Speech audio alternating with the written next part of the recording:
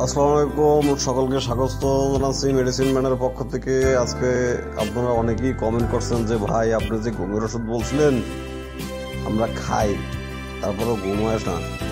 আমি ম্যাক্সিমাম লোকের আসলে বয়সটা জানছি যে, তারা চল্লিশ থেকে পঞ্চাশ ষাট বছর বয়স এই ধরনের লোক। আর পঁচিশ থেকে তিরিশ বছরেরও কিছু লোকজন আসে আসলে ন্যাচারালি যে ঘুমটা না আসে, তার প্রধান যে কারণগুলো আছে যে কেউ যদি অতিরিক্ত চা খায়, চা, কফি যদি কেউ অতিরিক্ত খায়, তাহলে তার ঘুম হতে পারে না। তার ভিতরে মনে করেন আবার যদি যারা প্যারাসিটামল এবং ক্যাফেইন এই ধরনের ওষুধ যারা খায়, তাদেরও অনেক সময় ঘুম আসে না। আর যদি মেন্টালি কোনো স্ট্রেস থাকে, স্ট্রেসের কারণেও কিন্তু ঘুম আসে না। আপনি যতই ওষুধ খান না কেন, আপনার ঘুম আসবে না। মনে করেন আপনার কাছে টাকা পায় লোকজন হচ্ছে টাকা টাকা দিতেছে। কারণ আপনি যতই ওষুধ খান না কেন, এই চিন্তা যে লোকজনের টাকা পাবে, এই যদি না দিতে পারি মান মান সম্মান খুয়াবে এই যে এক ধরনের ডিপ্রেশন এই ডিপ্রেশনের কারণে কিন্তু অনেক সময় আপনার ঘুম আসবে না। সেক্ষেত্রে ওষুধ খাইলেও আসবে না না খাইলেও আসবে না।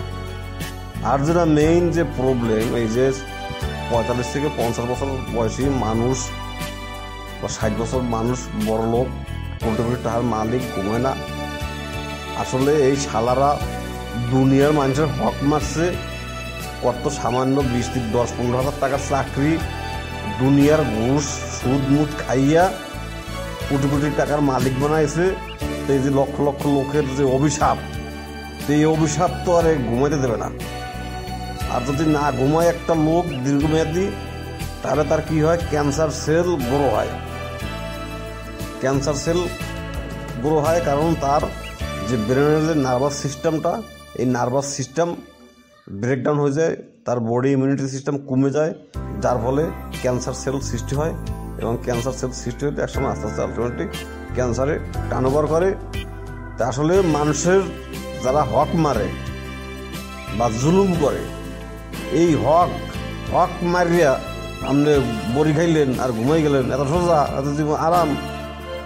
এই হক মানুষের যে যাদের কাছ থেকে হক চুরি চামারি করছেন, চেষ্টা করবেন মানুষের টাকা আত্মসাৎ করছেন, আস্তে আস্তে সেগুলো মানুষের গরিবের ফিরিয়ে দেন। যদি তাদের আত্মীয় স্বজন পান আত্মীয় স্বজনকে দেন বা যে কাছে নিয়েছেন তারটা তারে ফেরত দেন প্রথমে একবারে না পারেন, আপনি আস্তে আস্তে দেন। দেখবেন আপনি মেন্টালি একটা রিফ্রেশমেন্ট পাবেন। চোর, সে এনতে বলেন ভাই, তার ঘুম আসবে না। ঘুষখোর আসবে না, আমরা চোর।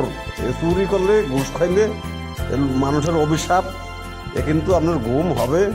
না ফাও ওই ওষুধ খাইয়ে লাভ নাই।